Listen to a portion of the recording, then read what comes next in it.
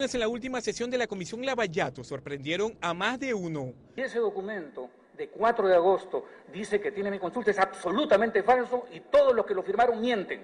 No había ningún documento. Yo lo he entregado el 8 o 10 de agosto.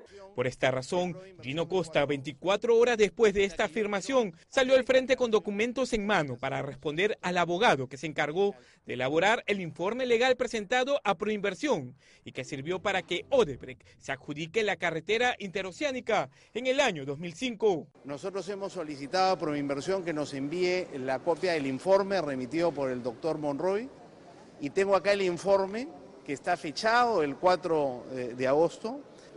Esto ha quedado totalmente desmentido, ¿no es cierto?, eh, por este informe remitido por el mismo doctor Monroy a Proinversión el 4 de agosto y recibido por Proinversión el 4 de agosto.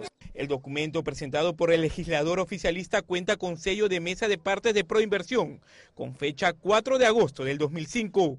En él se detalla las conclusiones a las que llegó el estudio de abogados para declarar a la constructora brasileña viable para adjudicarse la carretera interoceánica en dicho año.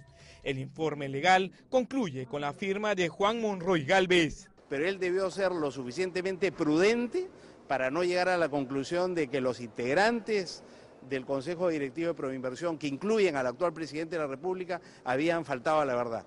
Quien ha faltado a la verdad eh, es el doctor Monroy. Pese a las pruebas presentadas, la fujimorista Karina Beteta se mantiene escéptica y prefiere solicitar pericias legales a los documentos. Yo creo la posición del doctor Monroy Galvez, que es el autor del documento. Lo que nosotros tenemos que hacer es ahora pedir esos correos, ¿no? Y también de la misma manera vamos a pedir que se haga esa pericia, porque ese sello tiene que decir de qué fecha es. En tanto, Mauricio Mulder sostiene que de todas maneras Pedro Pablo Kuczynski deberá responder ante la Comisión Lavallato. Si este es el momento adecuado, el legislador aprista dijo lo siguiente.